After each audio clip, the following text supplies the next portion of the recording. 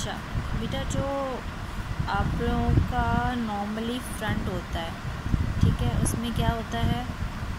Shoulder dart waist dart और side सी centre front five centimetre हम छोड़ते हैं. बस लाइन वेस्ट जो भी एक्स्ट्रा है, हम फोल्ड कर देते हैं. नॉर्मली हमारा फ्रंट ऐसा होता है, ठीक है?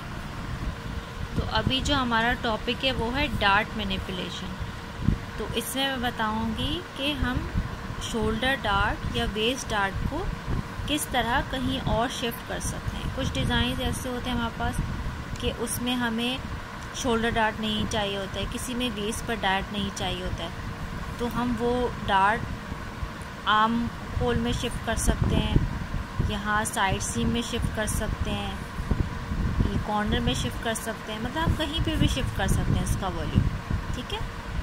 सपोज़ हमारा जो डिज़ाइन लाइन है उसमें हमारी जो शोल्डर डार्ट है, वो यहाँ पे आर्म होल के अंदर शिफ्ट हुई है उसका वॉल्यूम और वेस्ट डार्ट को हमने एज इट इज़ रखा है। तो ऑब्वियसली ये जो ग्रीन से ये आपकी बस लाइन है, ये वाला जो स्ट्रेट वर्टिकल है, ये आपका सेंटर फ्रंट है। ये सिमेट्रिकल डिज़ाइन है। सिमेट्रिकल मीन्स दोनों साइड पे हम इसको हाफ़ करेंगे तो दोनों साइड पे सेम डिज़ाइन ठीक है? तो जब ये सेम डिज़ाइन होगा तो हम इसको अभी जब हम लोग ड्रेपिंग के अंदर देख रहे हैं तो हम इसे सिर्फ़ इतना पोर्शन कंसिडर करें। सही है?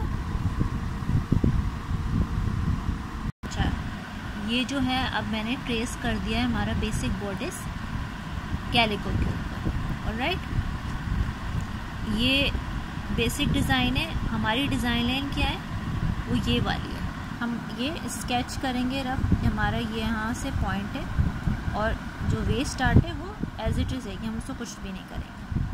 अब हमें क्या करना है कि ये वाली जो डार्ट है, इसको ओपन करेंगे और ये वाली को शोल्डर डार्ट को क्लोज कर देंगे। तो जो हमारा जो शोल्डर डार्ट का वॉल्यूम है, वो आ जाएगा हमारा आर्म होल के अंदर। वेस्ट डार्ट वेस्ट वाला जो डार्ट है, वो एज इट इज़ रहेगा। ठीक है?